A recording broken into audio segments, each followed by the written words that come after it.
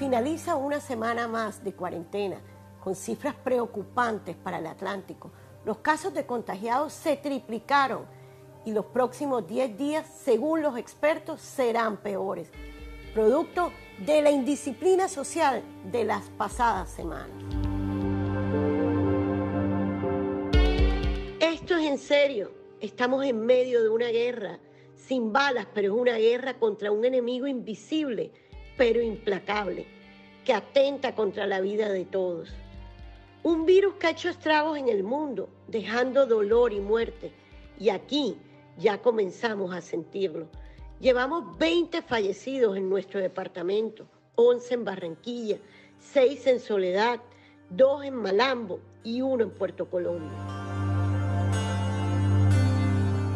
Por eso con mis alcaldes y la fuerza pública tomamos medidas más drásticas para que la gente se quede en casa, como son la ley seca y el toque de queda. Pero si no somos disciplinados y si no acatamos estas medidas, vendrán momentos mucho más difíciles.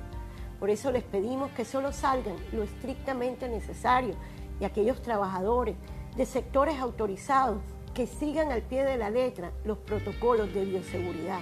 Le pedimos igualmente a nuestros empresarios que doblen esfuerzos para proteger a nuestra gente. Yo sé que no es fácil, no estamos acostumbrados a tantos días de encierro, pero es la forma más segura de evitar contagiarnos. Tomemos conciencia de la gravedad de lo que estamos enfrentando. La vida de todos está en juego. Quédate en casa.